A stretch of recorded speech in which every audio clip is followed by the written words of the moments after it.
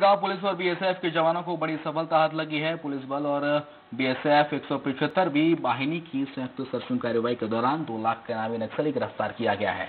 माओवादी संगठन के मिलिट्री कंपनी के सदस्य सदाराम नेताम उर्फ़ सूरज को ग्राम पिपली से गिरफ़्तार किया गया है। गिरफ़्तार नक्सली के खिलाफ हत्या, लूटपाट, आगजनी जैसे कई मामले दर्ज किए गए हैं और वो पिछले पंद्रह सालों से नक्सली दल में सक्रिय था।